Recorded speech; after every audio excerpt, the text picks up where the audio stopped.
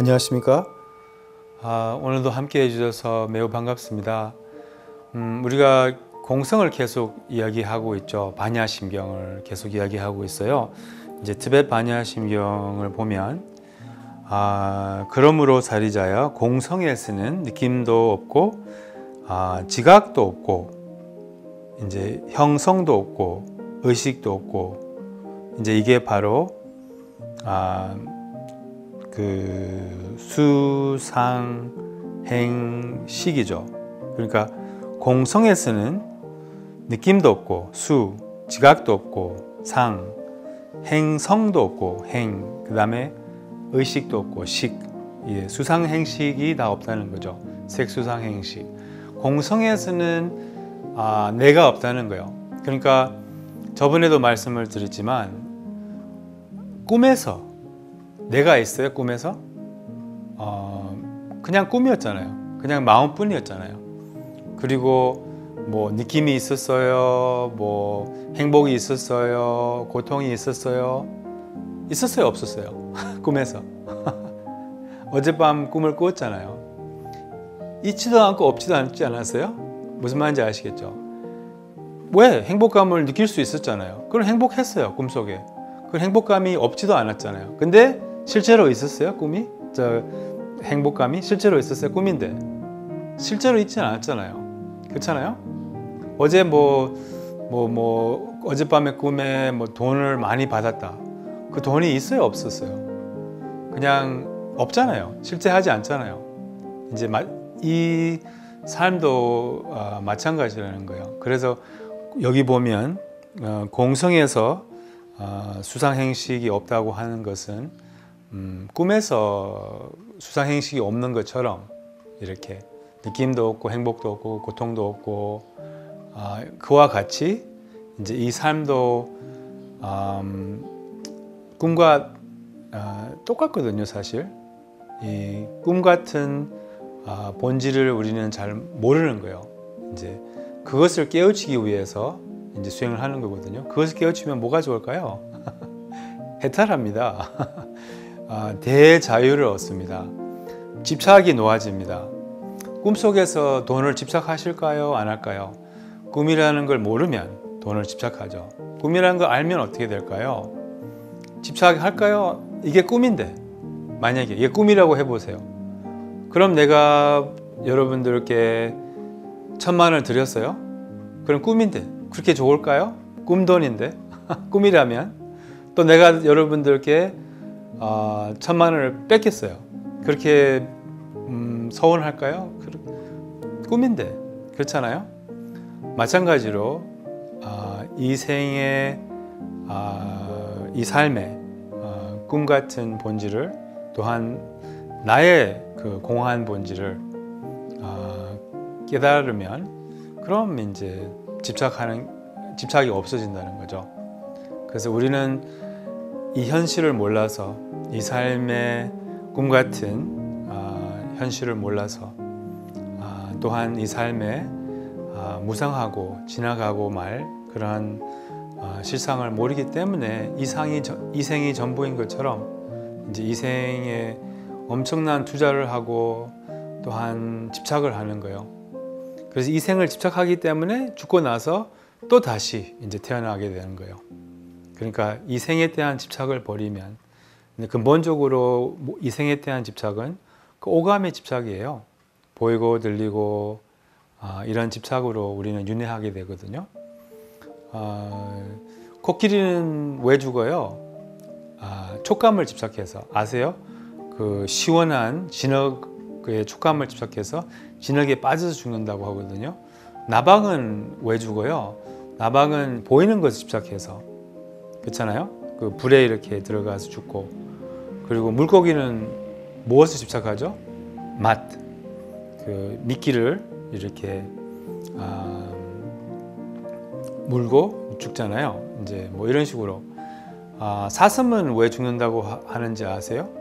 아, 사슴은 이제 음악에 이렇게 매료가 되기 쉬워서 그 사냥꾼들이 이렇게 음악을 아, 옛날에 그 왕이나 이런 아, 그 왕, 왕은 그런 어, 이렇게 악기를 하는 사람들 이렇게 데려가서 그 음악을 이렇게 만들면 그럼 이제 사슴이 그게 매료돼 가지고 멈춰서 이제 뭐랄까 어, 사슴을 죽인다고 이렇게 하거든요. 그래서 사슴은 이제 들리는 것에 어, 집착을 해서 죽고 그 다음에 마지막으로 어, 벌 이렇게 벌은 그 향 있잖아요. 그런 이렇게 벌을 이렇게 잡아먹는 그런 식물도 있잖아요. 그래서 이렇게 벌은 향을 어, 집착을 해서 그렇게 들어가서 이제 죽는다고 하거든요. 우리도 마찬가지예요. 우리도 어, 보이는 것을 집착하잖아요. 예쁜 것을 집착하고 또 이 예쁜 것의 그 공한 본질을 우리는 모르는 거예요. 그리고 이제 또 뭘 집착합니까? 맛을 집착하죠. 아, 특히 우리는 인간은 어, 그 고기의 맛을 아, 집착을 해서 그 윤회한다고 하거든요. 그 굉장히 어, 고기를 좋아하는 그런 집착은 굉장히 끈질긴 집착이라고 해요. 그리고 또 무엇을 집착합니까? 형태. 남자는 어떤 형태를 좋아하죠? 어떤 형태를 집착하죠? 여성의 몸. 그리고 여성은 이제 남성의 몸 이런 식으로 그 형태를 어, 형태의 그 공한 본질 을 몰라가지고 이제 우리는 이게 다 개념이거든요. 그냥 다 습관이에요. 어, 어떤 남자는 뭐, 뭐, 뭐, 약간 날씬한 여자를, 여자의 몸을 좋아하고, 어떤 남자는 뭐 약간 통통한 여성의 몸을 좋아하고, 그러니까 이게 다 자기만의 주관적인 그러한 습관 뿐이죠. 이제, 아, 근데 마치, 아, 이 좋은 것이 밖에 있는 줄 알아요. 그게 자기의 마음인데, 자기의 습관뿐인데, 그러니까 이 미, 아름답고 추한 것은 그냥 자기의 그런 보는 눈이라는 거요. 각 사람마다 다르잖아요. 자체적인 아름다움과 그런 추한 것이 보이는 것에 없어요. 그렇잖아요. 그러니까 예를 들면 뭐 음, 어떤 모르겠어요. 그냥 어떤 음, 어떤 꽃 뭐 연꽃을 연꽃이 이뻐요 안 이뻐요? 뭐 자체적으로 이쁘다고 그렇게 이제 우리는 어, 착각을 하거든요. 근데 뭐 어떤 사람은 연꽃하고 어떤 뭐 모르겠어요 트라우마가 있으면 그럼 연꽃을 볼 때마다 연꽃을 안 좋아하죠. 연꽃이 이쁘다고 생각하지 않겠잖아요. 뭐 예를 들면 그래서 이 아름다움과 추한 것은 자기 마음뿐이에요. 자체적으로 밖에 어, 독립적으로 있지 않아요. 예, 소리도 마찬가지거든요. 아, 소리도 뭐 어떤 사람은 아, 소음이 굉장히 예민해요.